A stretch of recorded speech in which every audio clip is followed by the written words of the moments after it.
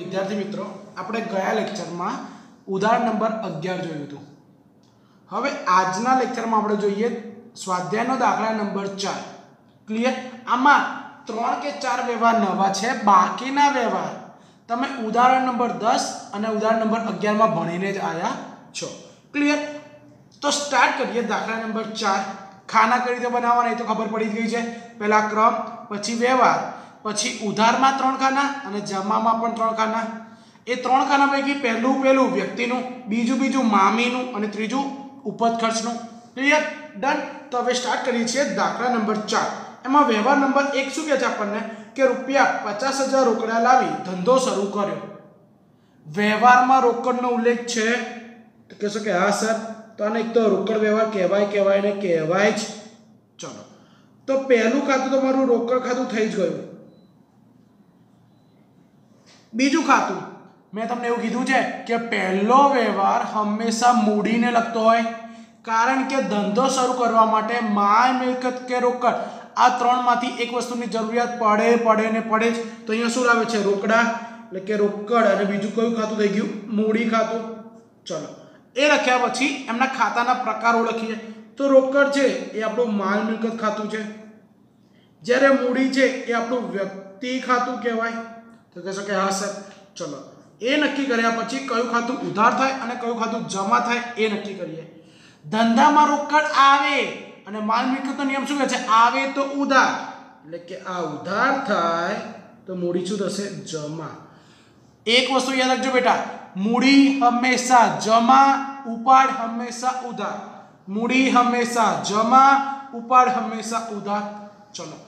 આ લખ્યા પછી એની એન્ટ્રી આપીએ.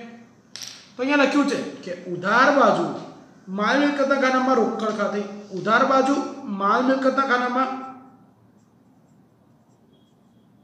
રોકડ ખાતે ઉધાર અને જમા બાજુ વ્યક્તિના ખાતામાં મૂડી ખાતે. જમા બાજુ વ્યક્તિના ખાતામાં મૂડી ખાતે જમા. બાકીના ચારમાં ડેશ ડેશ ડેશ ડેશ. ચલો. ક્લિયર? ડન? વ્યવહાર નંબર એકમાં કોઈ પ્રોબ્લેમ હવે તો આ વ્યવહાર તો આવડી જવો જોઈએ. વ્યવહાર નંબર બે જે નવો છે. વ્યવહાર નંબર બેમાં શું લીધું છે?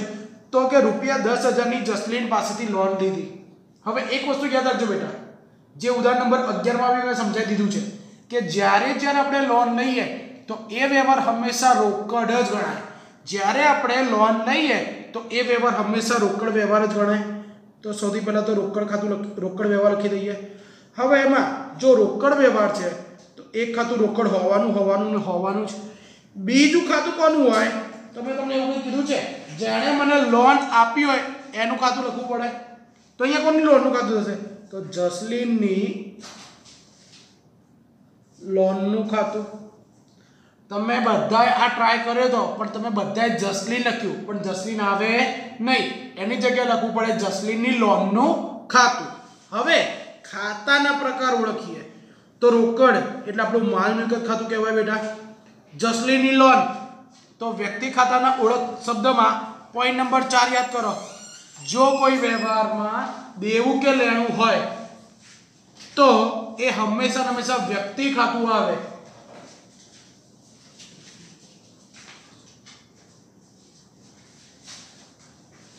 હવે ઉદાહરણને જમા નક્કી કરીએ.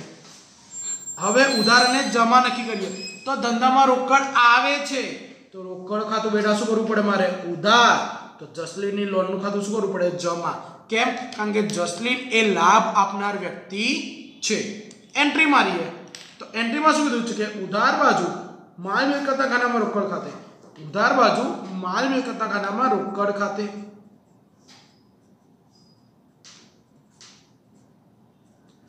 જમા બાજુ વ્યક્તિના ખાતામાં જસલીનની લોન ખાતે. વ્યક્તિના ખાનામાં જમા બાજુ વ્યક્તિના ખાનામાં જસલીનની લોન ખાતે જમા.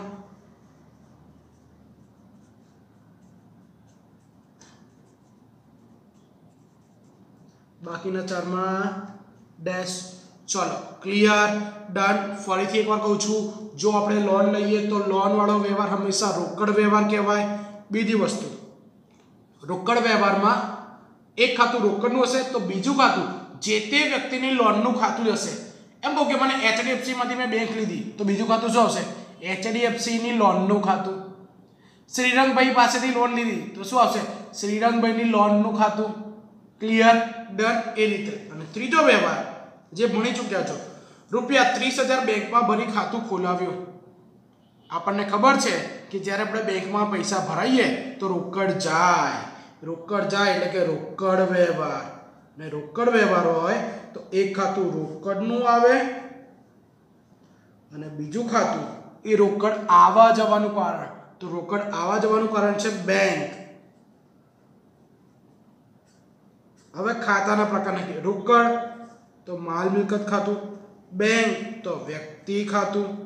ઉધાર જમા વિચારીએ તો આપણા જોડે રોકડ જાય છે. ધંધામાંથી રોકડ જાય છે. જાય છે તો જમા. પૈસા ક્યાં ભરાય છે? બેંકમાં. બેંક વ્યક્તિ છે, લાભ લેનાર. લેનાર ખાતે ઉધાર. ક્લિયર ચલો, આની એન્ટ્રી આપી હવે. ઉધાર બાજુ વ્યક્તિના ખાતામાં બેંક ખાતે. ઉધાર બાજુ વ્યક્તિના ખાતામાં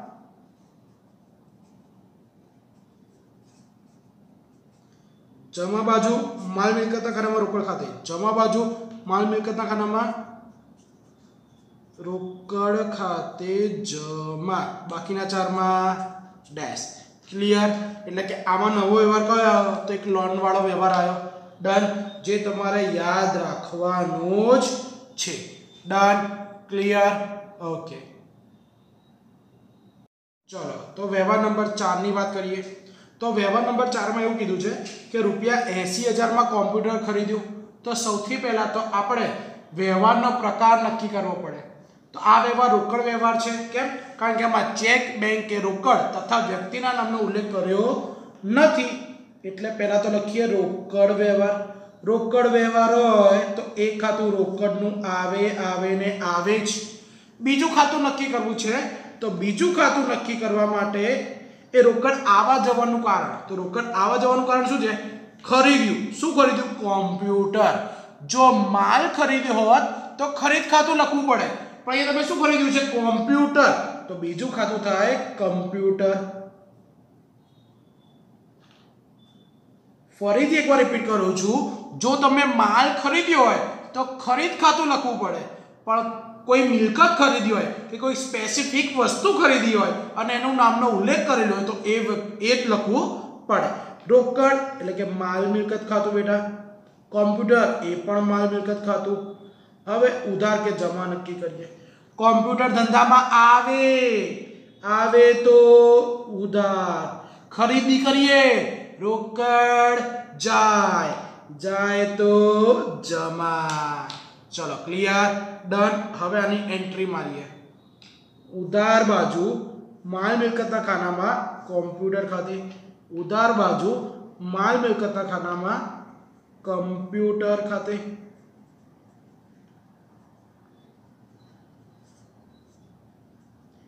જમા બાજુ માલ મિલકતના ખાનામાં રોકડ ખાતે, જમા બાજુ માલ મિલકતના ખાનામાં રોકડ ખાતે જમા. બાકીના ચારમાં ડેશ ડેશ ડેશ ડેશ. ચલો, ડન, ક્લિયર, ઓકે. વ્યવહાર નંબર પાંચ. રૂપિયા એક હજારની સ્ટેશનરી ખરીદી. સૌથી પહેલાં આ રોકડ વ્યવહાર. હવે કહેશો કે સર, રોકડ વ્યવહાર કેમ ન ચેક બેંક રોકડ, કે વ્યક્તિના નામનો ઉલ્લેખ કર્યો નથી, તો રોકડ વ્યવહારમાં એક હતું રોકડ આવે. અને બીજું કારણ શું હોય? તે રોકડ આવવા જવાનું કારણ. તો રોકડ આવવા જવાનું કારણ શું છે બેટા? તો કહેશો કે સ્ટેશનરી.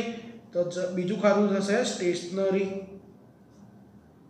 હવે ખાતાના પ્રકાર નક્કી કરીએ. તો રોકડ એ માલ મિલકત ખાતું કહેવાય બેટા. પણ સ્ટેશનરી ઉપજ ખર્ચ કહેવાય. તમે બધાએ લખ્યું હતું, પણ એમાં ઉપજ તમે બધાએ શું લખ્યું હતું? કે માલ મિલકત. પણ બેટા, હજુ હું એકવાર ક્લિયર કરવા માંગુ છું. જો કોઈ શબ્દની પાછળ સ્ટોક લખેલું હોય, તો જ એ માલ મિલકત ખાતું ગણાય. તમે બધાને સ્ટેશનરી સ્ટોક સમજી બેઠા. પણ અહીંયા પાછળ સ્ટોક શબ્દનો ઉલ્લેખ કર્યો નથી. એટલે એ આપણા માટે ઉપજ ખર્ચ ખાતું ગણાય. એટલે કે ધંધામાં આપણે હિસાબો લખવા માટે જે ચોપડા લાવીએ, પેન લાવીએ, સ્કેલ લાવીએ, એ બધું આપણા માટે સ્ટેશનરી ખર્ચ કહેવાય. અને ખર્ચ હોવાને કારણે એને ઉપજ ખર્ચ ખાતામાં લખવામાં આવે છે. હવે ઉદાહરણને જમા નક્કી કરીએ. ખબર છે સ્ટેશનરી મારો ખર્ચ છે. તો ખર્ચ હંમેશા શું થાય બેટા? તો કહેશો કે સર, ઉધાર. અને બીજી વસ્તુ વિચારીએ, તો જ્યારે આપણે ખરીદી કરીએ, તો રોકડ જાય. જાય તો જમા. ચલો, હવે આની એન્ટ્રી કરીએ. તો ઉધાર બાજુ ઉપજ ખર્ચના ખાનામાં સ્ટેશનરી ઉધાર બાજુ નુકસાન ખર્ચના ખાનામાં સ્ટેશનરી ખર્ચ ખાતે ઉધાર. જમા બાજુ માલ મિલકતના ખાનામાં રોકડ ખાતે. જમા બાજુ માલ મિલકતના ખાનામાં બાકીના ચારમાં ડેશ, ચલો. ક્લિયર ડન ઓકે છઠ્ઠો વ્યવહાર. રૂપિયા વીસ હજારની ખરીદી કરી. પાછો રોકડ વ્યવહાર. કેમ? કારણ કે આમાં રોકડ બેંક, ચેક કે વ્યક્તિના નામનો ઉલ્લેખ આપેલો નથી. તો પહેલું ખાતું થશે રોકડનું ખાતું. જ્યારે બીજું ખાતું અહીંયા એકલું ખરીદી કરી છે. એટલે બીજું ખાતું શું થશે? ખરીદ ખાતું. બંને ખાતા આપણા માલ મિલકત ખાતા કહેવાય. તો કહેશો કે હા, સર. હવે ખરીદી કરીએ તો માલ આવે. આવે એટલે ઉધાર. તો રોકડ શું થવાની જાય જાય એટલે જમા. પણ હું તમને બધા લેક્ચરમાં રિપીટ કરું છું. ખરીદી હંમેશા ઉધાર, વેચાણ હંમેશા જમા. તો ખરીદી ઉધાર બાજુ માલ મિલકતના ખાનામાં ખરીદ ખાતે. ઉધાર બાજુ માલ મિલકતના ખાનામાં ખરીદ ખાતે.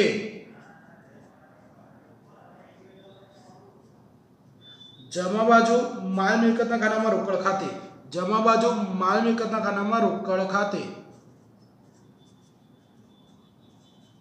બાકીનામાં ડેશ ડેશ ડેશ ડેશ ચલો ક્લિયર ડન આમાં કોઈ નવો વ્યવહાર આવ્યો નથી.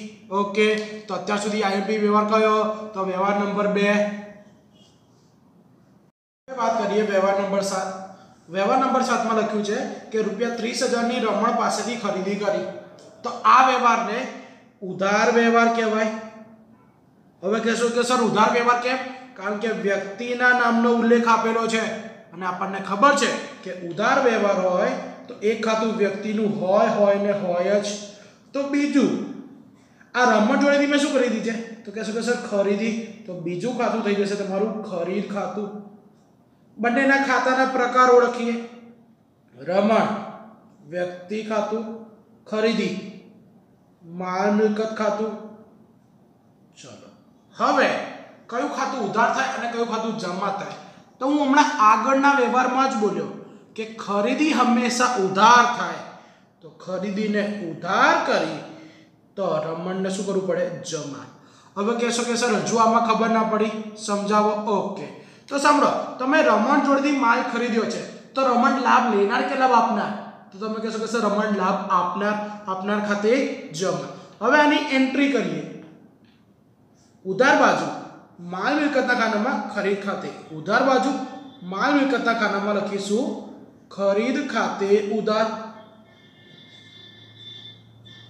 જમા બાજુ વ્યક્તિના ખાનામાં રમણ ખાતે જમા બાજુ વ્યક્તિના ખાનામાં રમણ ખાતે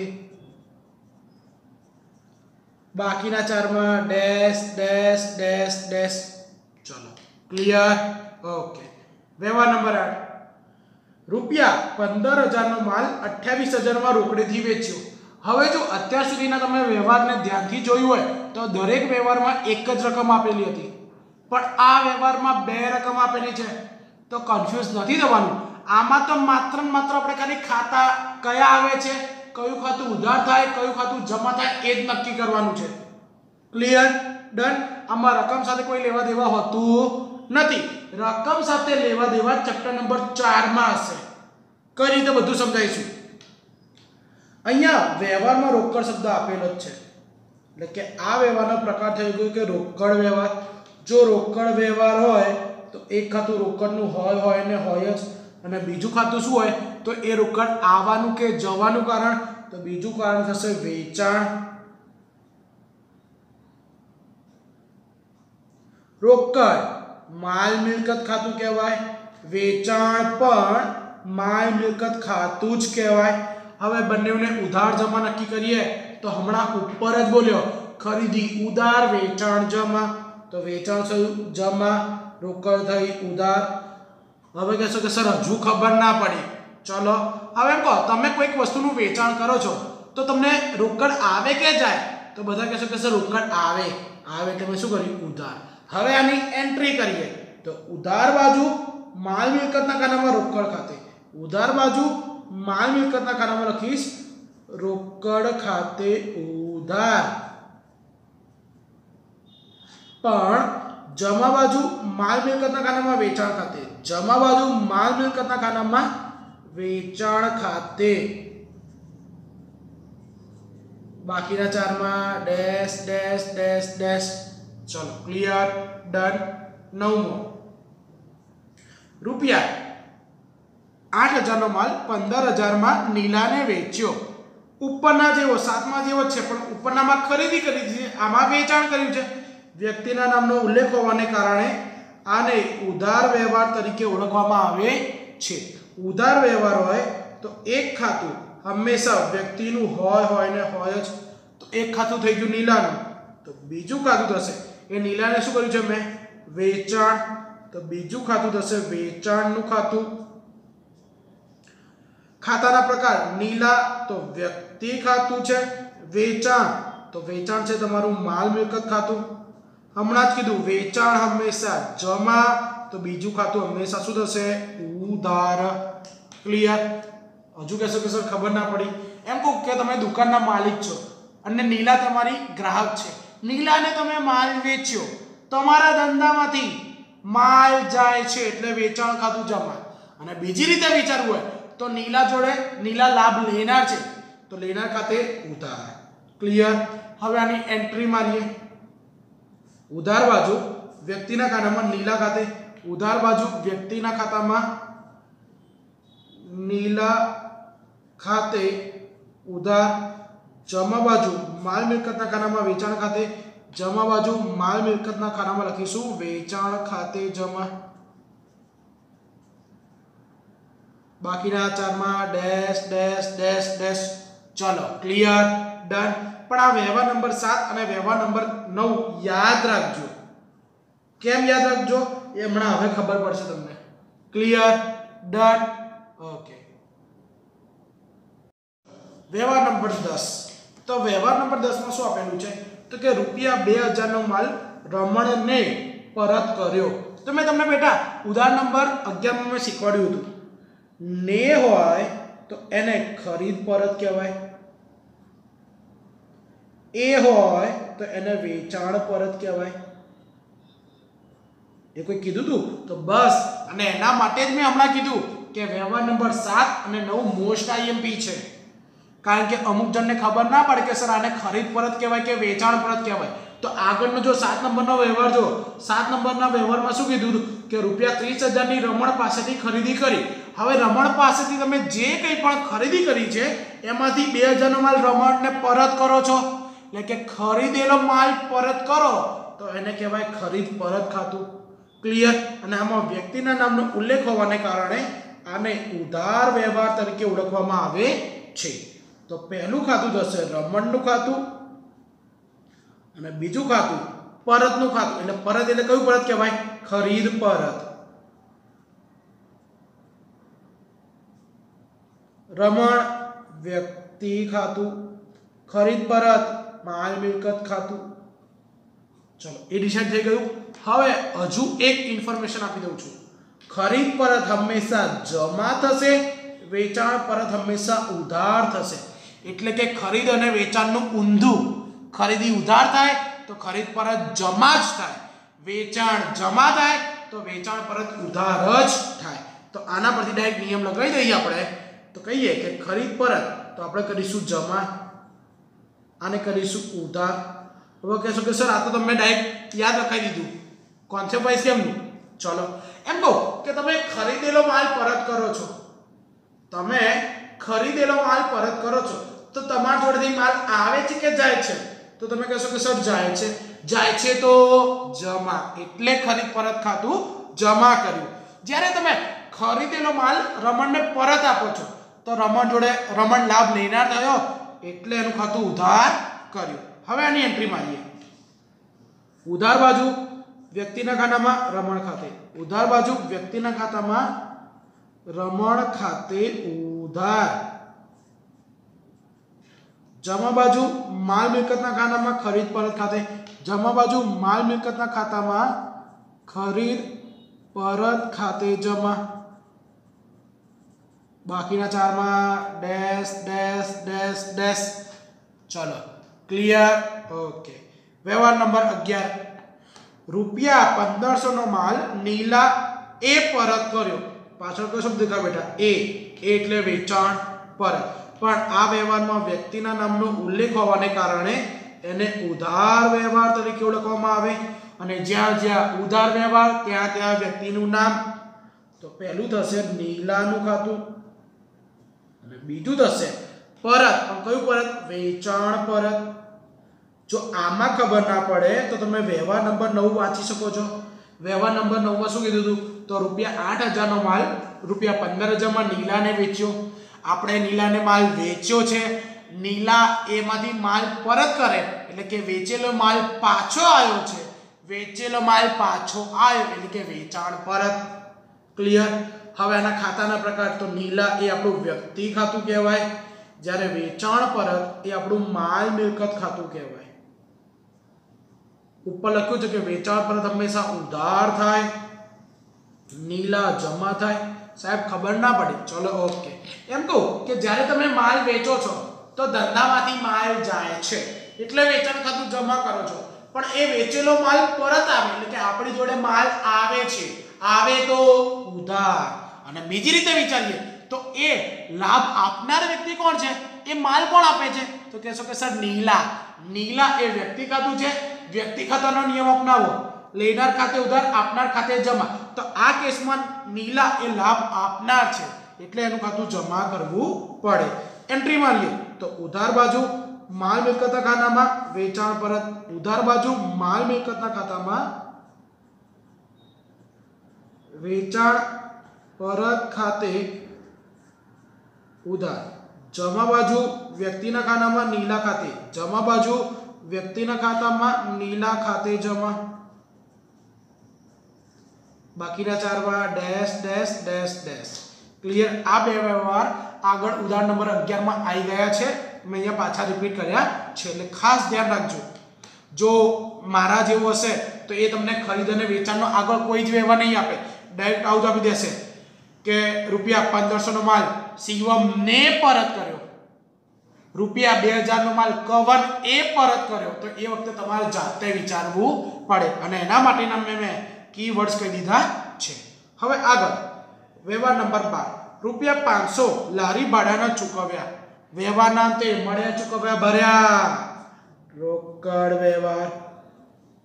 તો પહેલું ખાતું થશે રોકડ ખાતું. તો બીજું ખાતું, રોકડ આવવાનું કે જવાનું કારણ? તો રોકડ આવવા અને જવાનું કારણ છે લારી ભાડા ખાતું. રોકડ, માલ મિલકત ખાતું, લારી ભાડા ખાતું ઉપજ ખર્ચ ખાતું. ઉધાર જમા, રોકડ જાય એટલે જમા, ખર્ચ એટલે ઉધાર. Okay, done. ચલો એન્ટ્રી મારીએ. ઉધાર બાજુ ઉપજ ખર્ચના ખાનામાં લારી ભાડા ખાતે. ઉધાર બાજુ નુકસાન કે ખર્ચના ખાતામાં લખીશું. ઉપ લારી ભાડા ખાતે.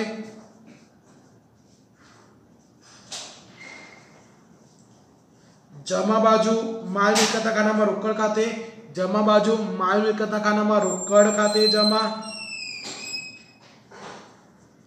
બાકીના ચારમાં ડેશ ડેશ ડેશ ડેશ. ચલો ક્લિયર ડન ઓકે તો આમાં બીજા બે વ્યવહાર સમજવા જેવા કયા હતા તો દસમો અને અગિયારમો. ક્લિયર ડન અત્યાર સુધી મહત્વના વ્યવહાર હોય તો આગળનો એક વ્યવહાર અને બીજા આ બે વ્યવહાર. ડન આગળનો કયો વ્યવહાર હતો તો લોન વાળો જસલીનની લોન વાળો, પછી આ પરત કર્યો, નીલા એ પરત કર્યો, એ બે વ્યવહાર. ડન ઓકે તો હવે, આપણે વ્યવહાર નંબર તેર પહેલાં, વ્યવહાર નંબર ચૌદ અને પંદર સમજી લઈએ કારણ કે બહુ ઇઝી છે. કારણ કે વ્યવહાર નંબર તેરમાં થોડુંક ડિટેલ્સમાં જવું પડે એવું છે, એટલે. તો પહેલા વ્યવહાર નંબર ચૌદની વાત કરીએ. તો રૂપિયા પાંચ હજાર કમિશનના મળ્યા. ઓળખ ચિહ્ન. જો વાક્યના અંતે ચૂકવ્યા, મળ્યા કે ભર્યા શબ્દ દેખાય તેને રોકડ વ્યવહાર કહેવાય. તો કહેશો કે, હા સર. તો પહેલું લખી દઉં છું, રોકડ. અને બીજું, એ રોકડ આવવાનું કે જવાનું કારણ શું છે? લખ્યું છે કે કમિશન. તો બીજું ખાતું થશે કમિશન ખાતું. રોકડ એ આપણું માલ મિલકત ખાતું કહેવાય. જ્યારે કમિશન એ આપણું ઉપજ ખર્ચ ખાતું કહેવાય. રોકડ આવે છે એટલે આને ઉધાર કરવું પડે જ્યારે કમિશન આપણા માટે આવક હોવાથી, ઉપજ હોવાને કારણે એને જમા કરવું પડે છે. ચલો ડન ક્લિયર હવે આની એન્ટ્રી મારીએ. તો ઉધાર બાજુ માલ મિલકતના ખાતામાં રોકડ ખાતે, ઉધાર બાજુ માલ મિલકતના ખાતામાં રોકડ ખાતે ઉધાર. જમા બાજુ ઉપજ ખર્ચના ખાતામાં કમિશન ખાતે, જમા બાજુ ઉપજ ખર્ચના ખાનામાં લખીશું કમિશન ખાતે.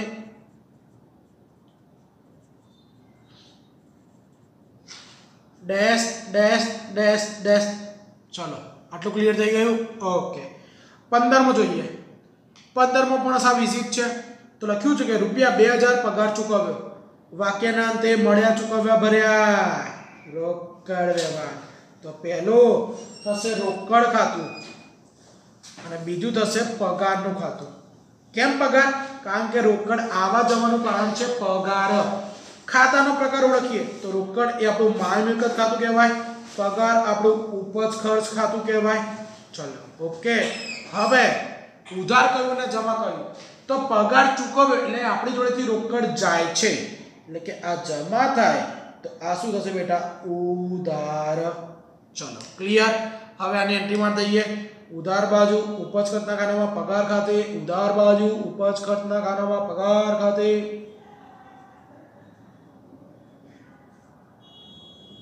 જમા બાજુ માલ મિલકતના ખાનામાં રોકડ ખાતે જમા બાજુ માલ મિલકતના ખાનામાં રોકડ ખાતે બાકીનામાં ડેશ ડેશ ડેશ ડેશ ચલો આટલું ક્લિયર હવેનો મોસ્ટ આઈએમપી વ્યવહાર વ્યવહાર નંબર તેર શું લખ્યું છે તો અહીંયા પહેલાં લખી દઉં છું મોસ્ટ મોસ્ટ આઈએમપી રૂપિયા બે બસોનો માલ આખી નાશ પામ્યો. આ વ્યવહાર રોકડ પણ નથી કે ઉધાર પણ નથી, પરંતુ આ વ્યવહાર એ અન્ય વ્યવહાર છે. કારણ કે આગથી પડી ગયો માલ, એટલે કે આપણે કોઈ વ્યક્તિ જોડે વ્યવહાર કર્યો નથી. ક્લિયર એટલે જો કોઈ પક્ષકાર જોડે વ્યવહાર કર્યો હોય, તો જ રોકડ કે ઉધાર વ્યવહાર આવે. પણ આમાં તો આગથી જ બળી ગયો છે, એ આવે નહીં. એટલે કે અન્ય વ્યવહાર, તમે એમાં એક સૂત્ર કીધું હતું, અથવા તો એક ટ્રીક કીધી તમને આગળના ઉદાહરણમાં, કે જ્યારે અન્ય પ્રકારના વ્યવહાર આવે ને, ત્યારે હંમેશા હંમેશા ખરીદ ખાતું આવે આવે ને આવે. અને એ અન્ય ખાતાના વ્યવહારમાં ખરીદ ખાતું હંમેશા જમા જ થાય. તો અહીંયા બે ખાતાના પ્રકાર નક્કી કરીએ. તો એમાં સૌથી પહેલા લખીએ છીએ કે ખરીદ ખાતું બીજું, તો બીજું શું થશે? તો જેના લીધે તમને નુકસાન થયું હોય, એનું ખાતું કોના લીધે નુકસાન થયું છે? આગથી તો લખીશ આગથી થયેલ નુકસાનનું ખાતું, ખરીદ ખાતું, માલ મિલકત ખાતું આગથી થયેલ નુકસાન, ઉપજ ખર્ચ ખાતું. હવે કહેશો કે સર આગથી થયેલ નુકસાન કેમ ઉપજ ખર્ચ અને અહીંયા છેલ્લા શબ્દ શું દેખાવ છે? ખર્ચ. આ કેસમાં ખરીદ ખાતું જમા કરવાનું, જ્યારે આને ઉધાર કરવાનું. ક્લિયર આ રૂલ્સ છે જે તમારો બે હજાર સોળમાં બદલાઈ ગયો છે. બાકી એની પહેલા ખરેખર વેચાણ ખાતે આવતું હતું, પરંતુ નવા સિલેબસમાં આ લોકોએ ખરીદ ખાતું કરી દીધું છે. ડન ફરીથી એકવાર સમજાવું છું. જો રૂપિયા બસોનો માલ આગથી નાશ પામ્યો તેમાં એક ખાતું ખરીદ ખાતું લખી દેવાનું. અને બીજું ખાતું શું આવશે? તો જેના લીધે નુકસાન થયું હોય એ. બીજું ઉદાહરણ આપવું રૂપિયા પાંચસોનો માલ વરસાદમાં પલળી ગયો. તો એમાં કયા બે ખાતા આવે? તો એક ખરીદ ખાતું તો આવવાનું જ છે અને બીજું વરસાદથી થયેલ નુકસાન ખાતે. ક્લિયર રૂપિયા સોનો માલ ચોરાઈ ગયો. તો ખરીદ ખાતું અને ચોરીથી થયેલ નુકસાનનું ખાતું.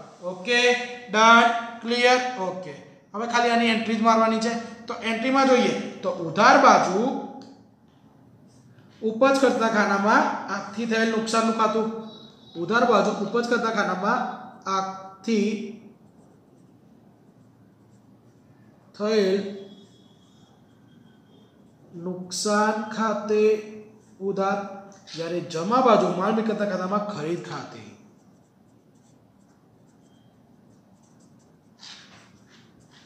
આ વ્યવહાર ખાસ યાદ રાખજો. મોસ્ટ મોસ્ટ મોસ્ટ આઈએમએ છે અને આના જેવા જ હું તમને પાંચ વ્યવહાર ગણવા આપું છું.